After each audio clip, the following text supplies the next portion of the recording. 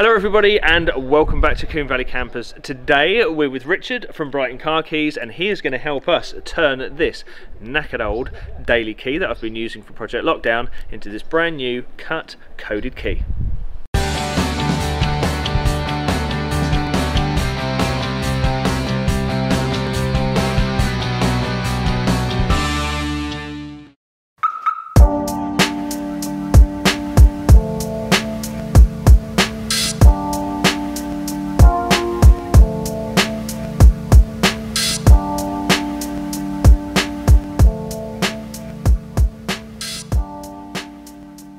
If you own a Volkswagen or any other car, I guess, from the 70s, 80s, 90s, or even early 2000s, you will probably have a completely worn out key, like mine, or you'll have multiple keys to fit multiple doors in your camper.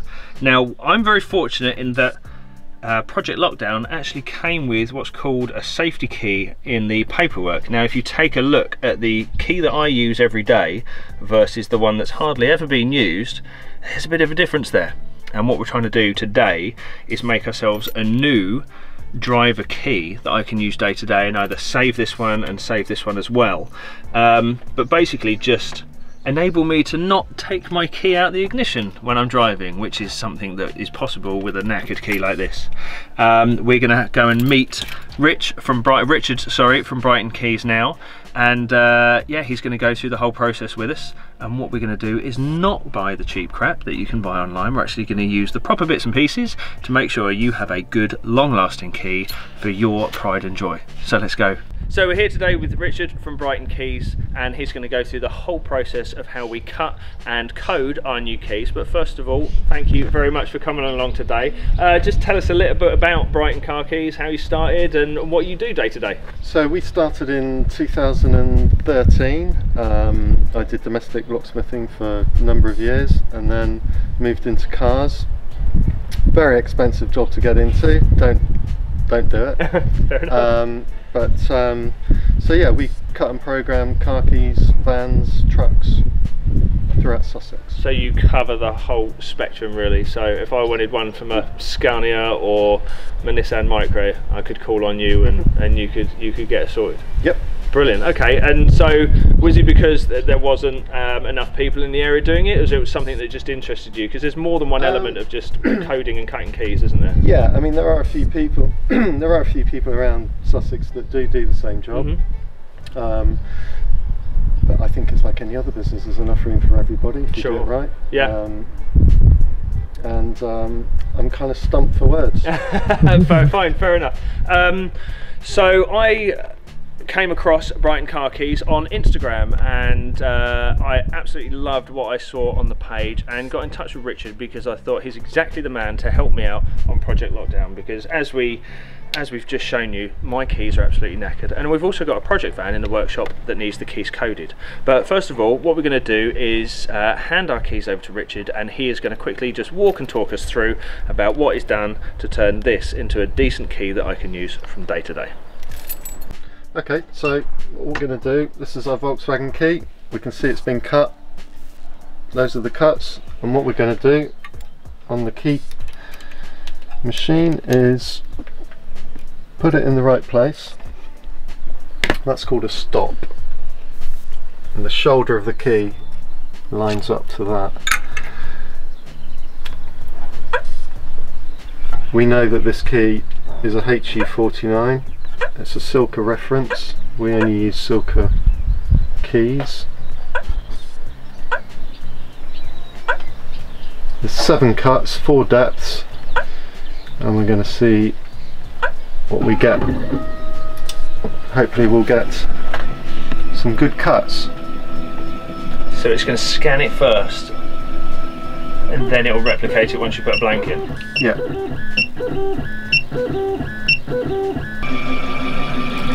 That's awesome. Okay, so what that's given us is a series of numbers. The ones in the red are not quite the same depth. It's it's read them, and the reason it's red is that that's the nearest number, the nearest height number um, to how it's being decoded. I think that that's probably right.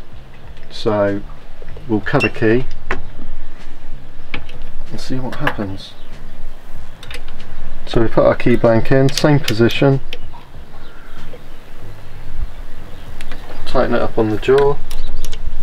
Stop out.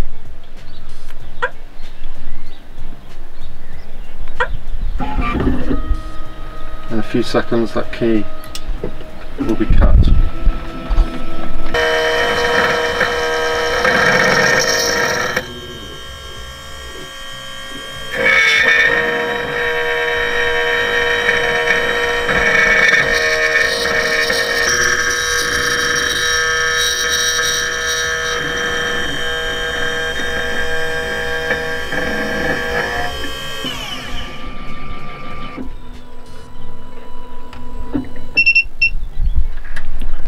So that's cut our key.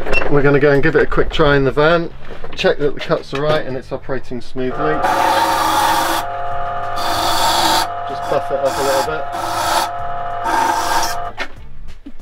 bit. Let's go and try the key. Okay, so here's our new key that we've just cut on the machine. Locks and unlocks. We'll try the ignition as well, shall we? Okay, so here's our key. We're just going to test it in the ignition. It's not programmed to the vehicle yet, so it won't start. And we can see that that turns. In fact, I'm just going to try it in the ignition.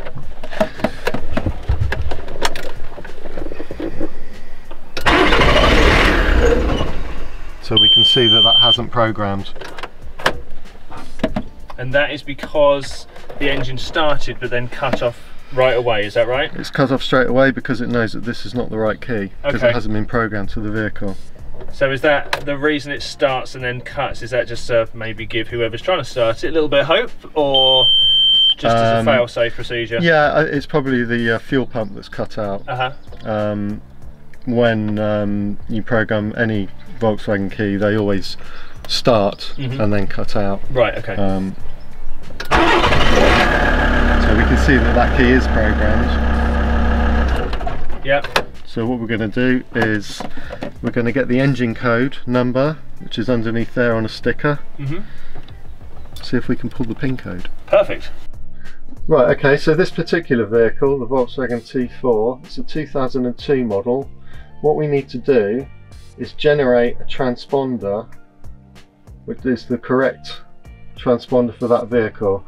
It's an ID44 Volkswagen chip and on this bit of software we can generate the chip that can be programmed into the vehicle. So if I go onto ID44 there, click VAG and then I'll put this chip into the machine there and it will write there we go that chip's now ready to be programmed into our vehicle. Tester time.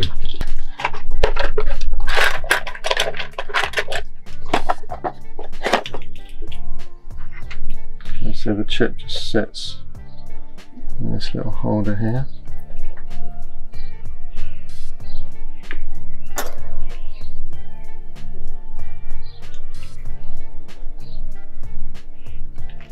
The most expensive part of the key.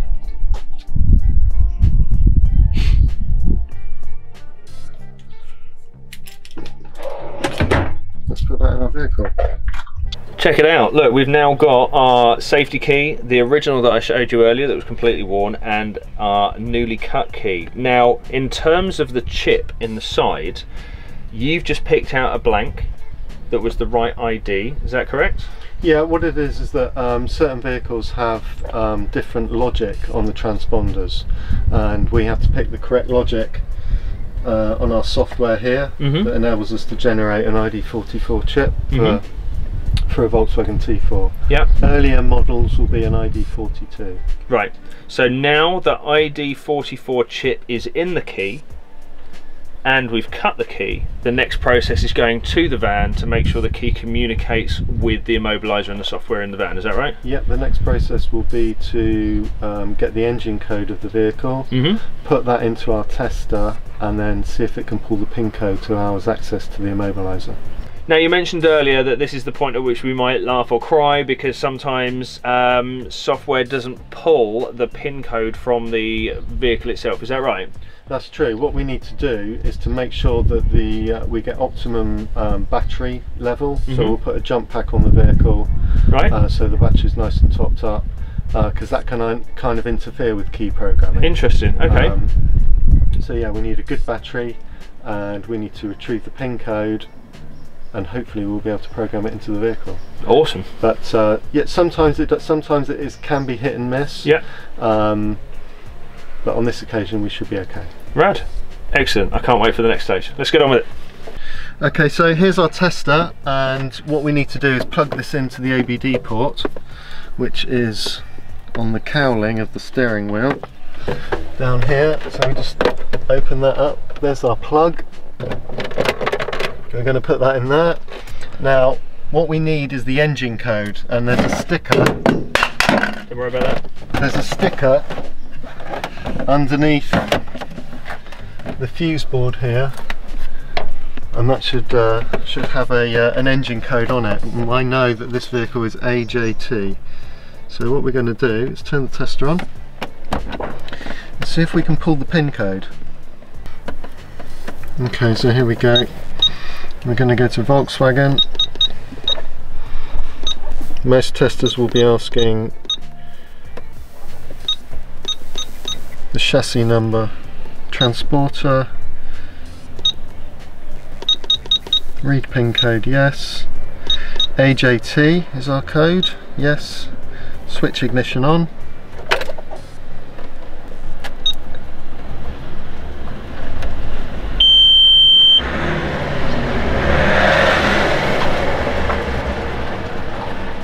Okay, so what we've done is um, we tried to pull the pin code on the first attempt. It wouldn't pull it, it came up with an error. So what I've done is I've put a jump pack on the battery to boost the power and we tried again and it's come up with the pin code. I won't tell you what it is, but it has and we'll be able to program the key now. Okay, so we've pulled the pin code, uh, we've generated the chip for the new key. So what we're going to do now is the last process which is programming all the keys in. So we'll just wait for the tester to fire up. This machine is password protected, which is the password that I've just put in now. Okay. Switch ignition on.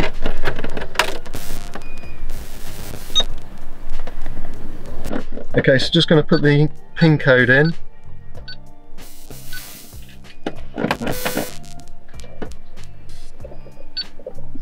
Three keys we require.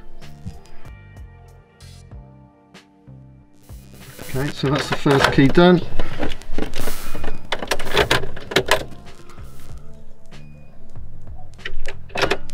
Second key done.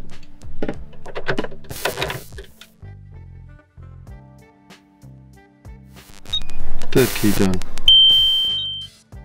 Now with these vehicles there's very little indication on the tester or the vehicle as to whether the programming has been successful. So somebody could hang on to the battery pack.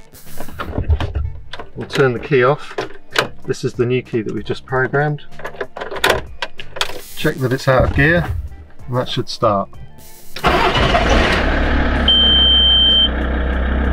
There we go. New key program for a T4. How awesome is that? It's all done. Thank you so much, Richard. That's awesome. I now have my new daily key, and with a bit of luck, it's not going to fall out the ignition barrel whilst I'm driving along now. I have the original daily key, which I can put to one side. I have the safety key, which I can keep in, in a safe place. And now I have my daily driver key. And that was a really fascinating process. I've never seen that done before. I've never learnt about that. Um, so I hope you learned something too. And just some really good hints and tips there. I know you're probably not going to do it at home, um, but what a really, really fascinating process that was. So thanks very much. Welcome. We're now going to go on to our second T4. Now, this is a higher spec version of this vehicle that we are in the middle of building. And it doesn't necessarily need a new key, but the case for the key is broken. And we're going to go and have a quick chat about that and learn about the process of the key with this newer or at least higher spec T4 van. Okay, so what we're going to do here is transfer this worn key into this new case. And to do that we split the case apart there. And we want to take this old key blade out. Now this is a key called a key mate and what it does it just holds it in the right position. And there, I don't know if you can see on camera there's a little split pin there uh, roll pin even and we're just going to tap that out to release the key.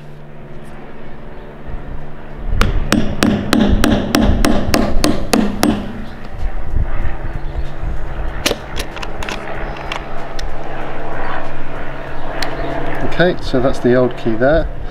Now the important thing about this is you must remember to remove the old transponder from the old key otherwise your vehicle will not start because it's the difference between having a working vehicle and not. So we split this apart. Just tease it apart there. Okay and if you look there that's our little carbon chip. That's what makes the van go. Okay, so we're just going to pop that out. They can be quite tricky to get out sometimes, they might need a bit of persuading or even cutting of the case. Okay, so we're just, it's possibly been glued in in a different time. I'm just going to see if we can tease it out of there.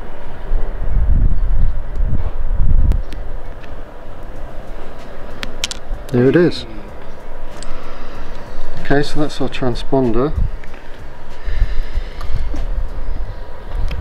As you can see, the key ring is broken off on this. So we're going to put it in a new case so you can put it back on your key ring So this is empty, it has got a battery inside it that I've put in. And what we do is we take this out of here.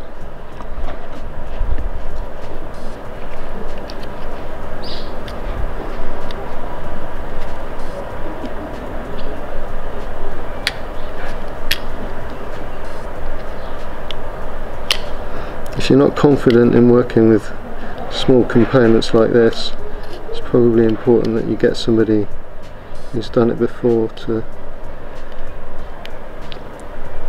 fix it for you okay. That goes there into our new case. Make sure it's seated properly. Cover on. And that's that bit done.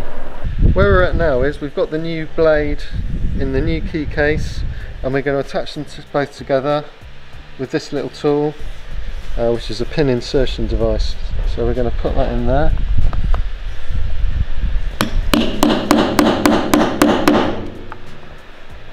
tap it in there and what we're going to do is to finish that off as you can see it's not all the way in we're just going to put it in the vise crimp it together that's our key done okay so the last bit is just to make sure we can hit that pin home and the key should flip. So we're just going to push that in with the vise like that and there we go.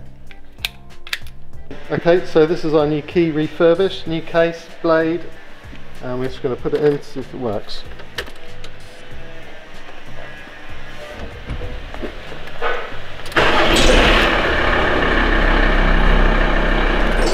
Okay, let's test the central locking.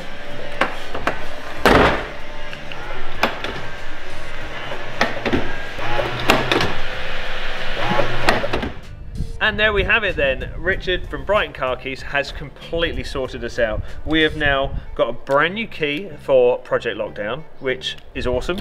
And we now have a completely refurbished and recased key for this blue T4 that you see in the background. And you've probably seen in the background a few of our other videos as well, and we'll be concentrating on that one another day. So if you want to get in touch with Richard, if you need some new keys doing, then have a look down in the description below. We'll leave all the links, all the web addresses and the telephone number for you to give Richard a call.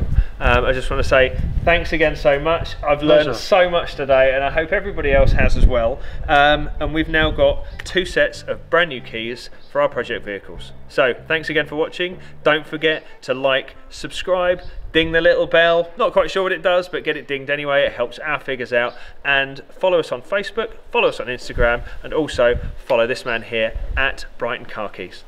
Thank you very much.